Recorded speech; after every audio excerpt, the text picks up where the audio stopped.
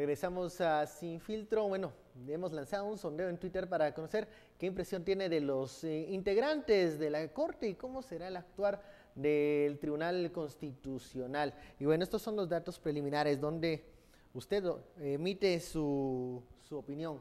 Es, bueno, eh, volveremos en unos momentos con, la, con el sondeo. Seguimos con el tema de, de, esta, de estos últimos dos nombramientos. Congreso y organismo ejecutivo. En el Congreso mandan, y eso es otra cosa que vamos a hablar, manda la forma de elección, ¿no? Ahí eran votos. Pero en un acuerdo de jefes de bloque. En un acuerdo. En un acuerdo. Mira, nada en el Congreso se mueve si los jefes de bloque no están de acuerdo. Y, y acuérdate que los jefes de bloque hasta llegan al punto de repartir. Y con los 145 votos. Y más por el número se ve claramente que había un que había un acuerdo previo. Sí, había un acuerdo previo, sí. Pero el punto es, ¿en alguna de las cinco instituciones hay algún tipo de sistema de mérito? se calificaron. Por ejemplo, en el Congreso de la República, ¿Hay una la mejor calificada no logró ese pacto. El punto es ese. Hay una, hay una calificación en una, en una comisión, pero la esencia de la elección es política. Es acuerdos de jefes de bloque y negociación. Porque en, la, San Carlos, eh, Morales iba de Morales iba de primero. En la San Carlos, al final también es una votación de los 41 miembros eh, del, Consejo, Superior. También es, es, una cuestión de negociación. Ahí, insisto, no hay ningún tipo de reflexión sobre quién es esta gente, qué piensan, qué o sea, ¿Vale al, la pena al, final si lo va a hacer esta gradación y esta calificación si al final de cuentas lo que importa es el acuerdo, lograr los votos? Ninguna. Lo que merece la pena es que lo llevemos a, sobre todo, medios de comunicación juegan un gran papel, ya que el sistema mismo no te favorece que haya ningún tipo de debate en todo esto.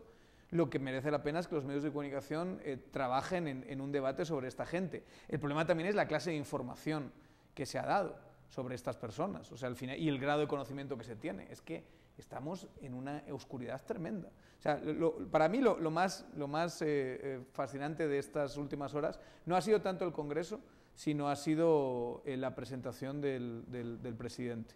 El, el, hecho de que el presidente haya sido el último, que haya sido el que menos información ha dado en todo esto. Lo hizo a su manera. Ya hemos, habíamos oído el nombre de, desde hace bastante tiempo en las otras instituciones de quién podía salir y el presidente nos ha sorprendido con un nombre que prácticamente no, nadie había escuchado, una persona que tenemos que hacer investigación ahora para saber qué clase de sentencias ha dictado, etcétera, etcétera, y que solo lo conocemos por una referencia de que está en, una, en, un, en un informe de la CICIG, lo cual en principio no es la mejor carta de presentación.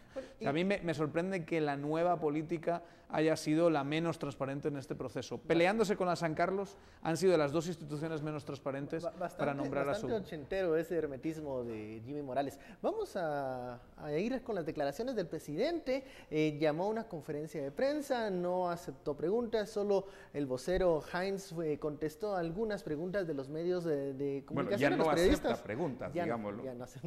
Eh, y bueno, estas fueron las declaraciones del presidente Morales.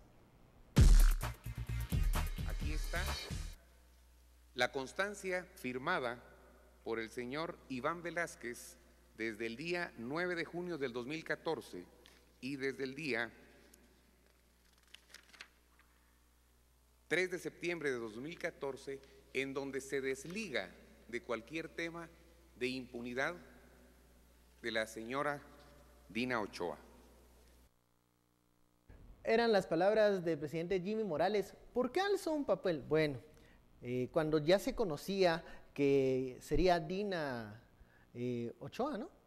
La magistrada titular de la CC, pues circularon algunos documentos que nos recuerdan, eh, pues algunos, algunas diferencias que tenía esta persona con la CICIG en aquel entonces, liderada por Francisco Dalanese. Eh, recordamos el informe de jueces de la impunidad, un grupo de, pues, togados de juristas. 18 sí, no estaban de acuerdo con esta información, llegaron a la sede de ONU para pues presentar sus quejas y dice el presidente Morales, consultó con la CICIG, la CICIG por medio de esta nota eh, que, es, que es del 2014 y también por eh, las referencias que realizó con el comisionado, ah, está limpio. Eh, te se van dando cuenta cómo la CICIG está pasando a ser de un ente que es temporal, que, es, que tiene que ser muy puntual, a un ente que ahora tiene que revisarlo todo. pasan los gobernadores, pasan los de la CC, Mm. va a pasar la selección nacional, eh, pasan las señoritas de la línea de la zona 1. Ahí, ahí pasa todo ahora en la CC. O sea, ti- tiene, la CC agarró un papel que no le corresponde. De veras, no le corresponde. Y qué bueno que está haciendo investigaciones y que la línea Estuardo, 1 y la el línea presidente se lo todo. está dando ese Sí, papel. pe- pero, exacto, pero eh, igual otro podría decir, mire, el mandato es este y este.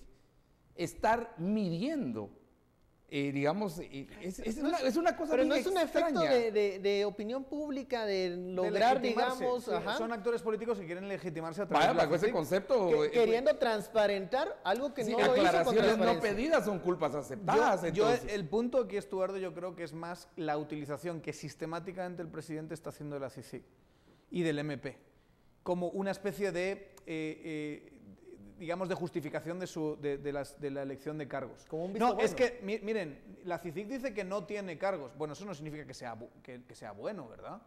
O sea, significa que no está perseguido por la CICIG, lo cual tampoco es una, eh, digamos, es una gran carta de presentación.